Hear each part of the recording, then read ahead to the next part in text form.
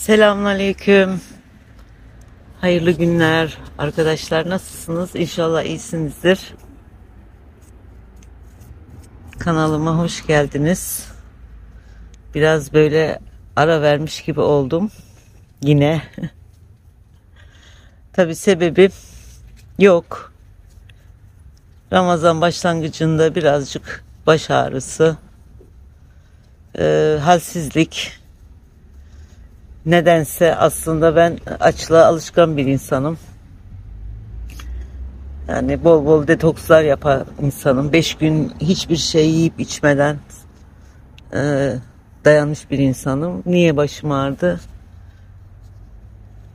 Ben de hayret ettim. Yaşa bağladım. Yaşımız her yıl biraz daha geçiyor ya. Yani geçen sene yaptığımızı bu sene biraz zor yapıyoruz. 2-3 gün baya bir baş ağrısı çektim.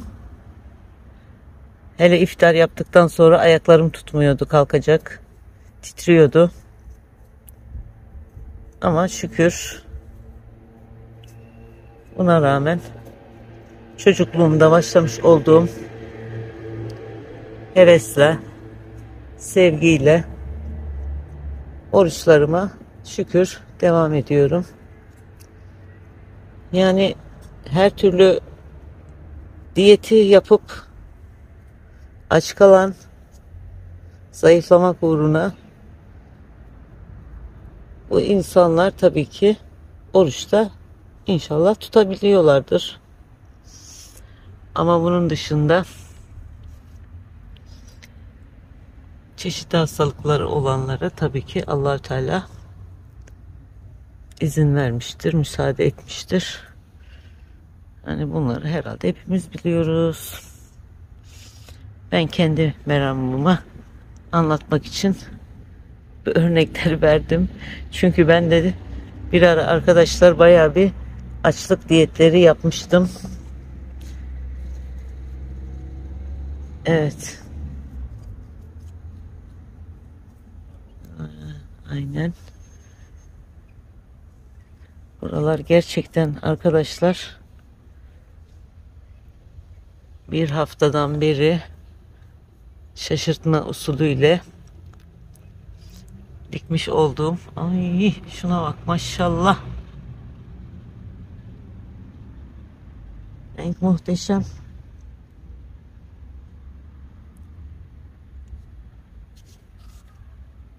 evet de sizinle beraber bakıyorum.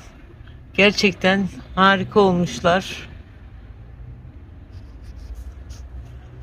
Yağmur yağdı arkadaşlar kaç gündür.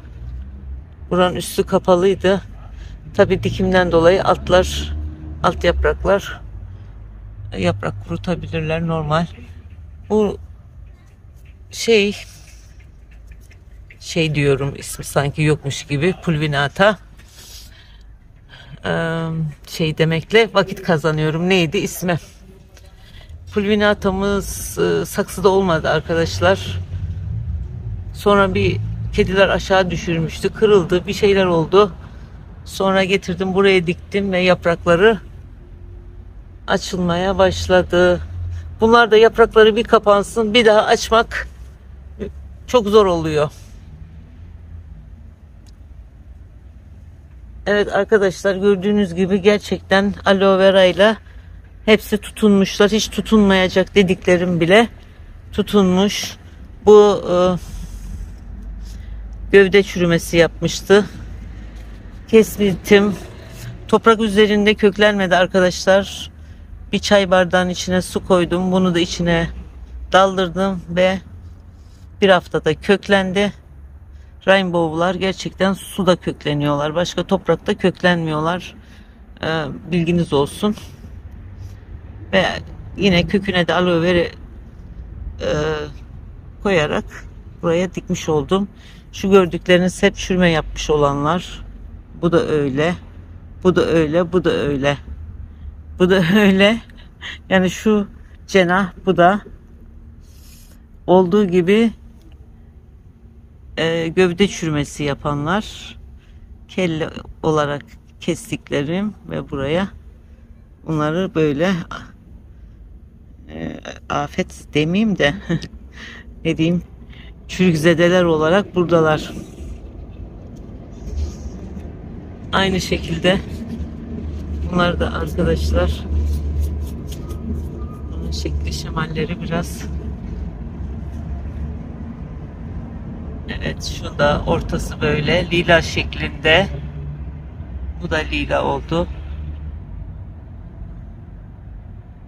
Çok güzel bir şekilde büyümeye devam ediyorlar tabi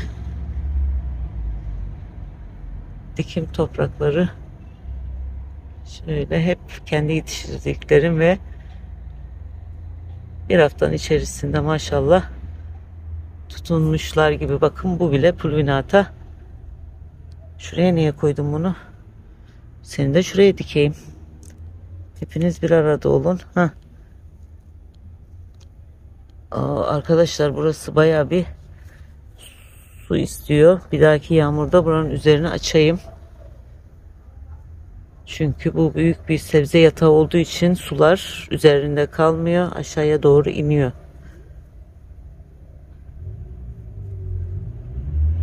Yani derin saksılarda da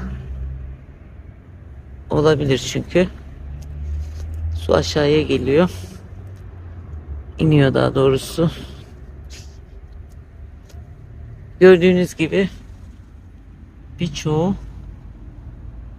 burayı sevdi. O yüzden ben de bunları seviyorum arkadaşlar burada oldukları için. Gerçekten benim kurtarıcı bir yatağım burası. Bebeklerim aralarında. Bunlar hep kendimin yetiştirdiği. bebekler. Arkadaşlar gördüğünüz gibi Lowery Rose. Bu renk oluyor muymuş? Oluyormuş. Harika.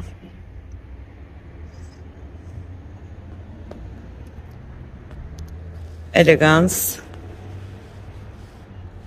Akşam bir ara çıktım. Böyle bunları böyle biraz kontrol ediyorum. Geç yattığım için. Şunun dikimini yapacağım arkadaşlar. Şuradaydı. Oradan çıkmıştı. Kökleri de hazır. Oraya bir yere dikeceğim.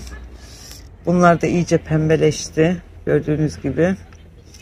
İşte bans variegatalar. Bunun yaprak çoğunluğuyla zenginliğiyle diyelim bu aynı değil. Çünkü bunu başka bir satıcıdan aldım. Bunu başka bir satıcı demek ki. Bunlar da değişik değişik. Yani bu da güzel. E, bu da güzel.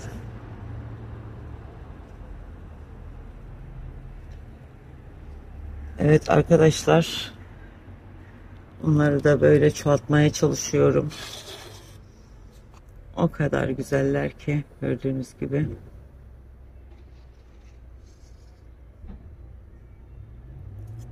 Bunlar da çok güzel oluyor. Olursa olsun büyüyünce böyle çoğaldıkça harika oluyorlar. Ve de çoğalmaya başlamışlar bakın. Böyle bronzelerle zenginleştirdiğim bir saksı oldu. Kellesini almıştım. Bakın buralardan yavrular verdi. Ama şuna bayılıyorum. Çok güzel bir tür.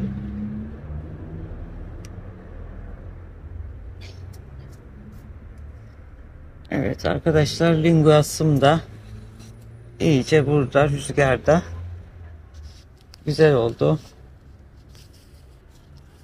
Gördüğünüz gibi şöyle bir görüntüsünü alayım.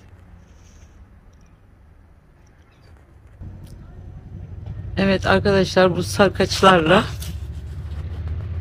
devam edip videoyu bitirmek istiyorum. Bir türlü burada güzel olmadılar. Bilmiyorum niye. Bayağı bir oldu bunları buraya dikeli. Sonbaharda dikmiştim. Bakın yukarıdaki gelişti. Buradakiler gelişmedi. Neden acaba? Burası da değişik.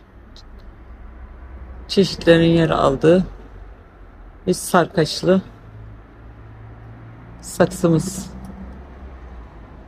Yani böyle hepsi aşağıya doğru büyüsün diye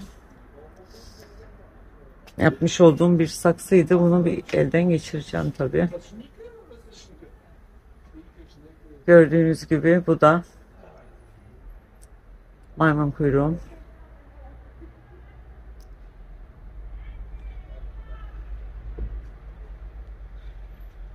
Bu da güzel uzamaya başladı.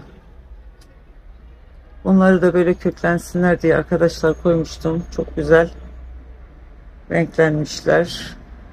Kök salmışlar mı? Henüz yavaş yavaş. Bu da yine böyle morganyumların karpuz ee, neydi? Tespih değil de evet tesbih. Yakut demek geldi içimden ama değil. Karpuz tesbihin olduğu bir saksım.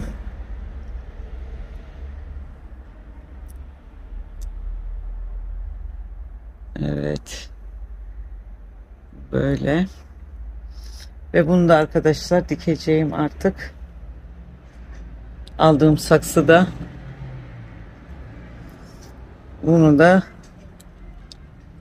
inşallah bugün yarın yeni yerine yerleştireceğim.